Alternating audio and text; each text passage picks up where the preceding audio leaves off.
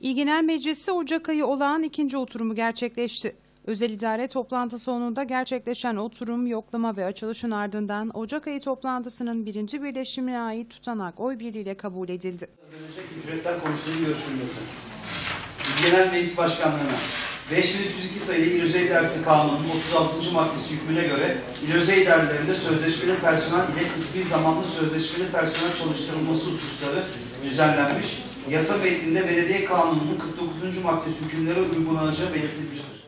Gündemin 6. maddesi olan sözleşmeli personelin 2013 mali yılında ödenecek ücretler konusunu görüşülerek oy birliğiyle Plan ve Bütçe Komisyonu Başkanlığında Karma Komisyonu havale edildi.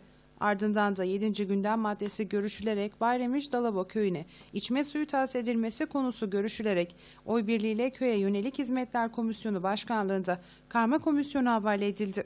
Maddelerin görüşülmesinin ardından gündem dışı söz alan Cumhuriyet Halk Partili Meclis Üyesi Şerafettin Alkan, zeytin üreticilerinin uğradıkları zararlara dikkat çekerek hallerinin perişan olduğunu belirtti ve inanın zeytin üreticileri çok zor durumda dedi. Şimdi yine bir e, şeye uğradım, e, Milli Eğitim'e uğradım. Orada e, Ali Temel Bey var, tanıyan arkadaşlar tanır. Bir Karagöl'le İspatyo arasında bir yol vardı, bir buçuk kilometre. Bu dedi ne bize bağlı, ne Ezine'ye, ne Ayvacık'a. Bir buçuk kilometre bir yol vardı. Ben dedim şimdi konuşmak için bin lira ödeyeceğim. Bu yolun yapılması rica ettim. Ben de Mustafa Bey'e de söyledim. Hakkını da yemiyorum yani. Diğer bir şey de işte bir tarışla ilgili Mustafa Bey burada bazı şeyler işte tarış zeytin ve zeytinyağı fiyatlarıyla ilgili. Mustafa Bey tarışın tesisini bilir, tarışın kuruluş amacını bilmez. Yok. Tarış dört üründen, dört üründen oluşan dört üründen oluşan Ege'nin en büyük kooperatif örgütü 150 bin civarında ortağı var.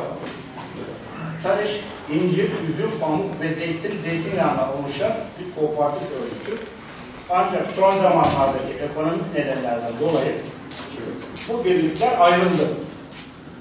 E, hepsi de hemen hemen incir, pamuk bile e, çökmüş durumda. Zeytin, zeytinyağı biraz ayakta kalma çalışıyor. E, ancak tabii ki bazı fiyatları, e, zeytinyağı fiyatlarını işte veremiyor, zorlamıyor. Bu da hükümet desteğinden kaynaklanan bir şey. Ben Tarış'ta 28 yıl çalıştım, oradan emekliyim. Alkan ardından söz alan KOSGEB Müdürü Erdoğan Yüksel KOSGEB ve çalışmaları hakkında bilgi verdi. Durumda sadece sanayi sektörünün işletmeleri desteklemek amacıyla kurulmuştur. Ee, o yüzden de e, yapılanması öncelikle sanayisi yoğun illerden başlattı. Ee, daha sonra tabii COSGAP kanunları değişiklik yapılarak e, hizmet ve ticaret sektörleri de COSGAP'ın destek kapsamı altında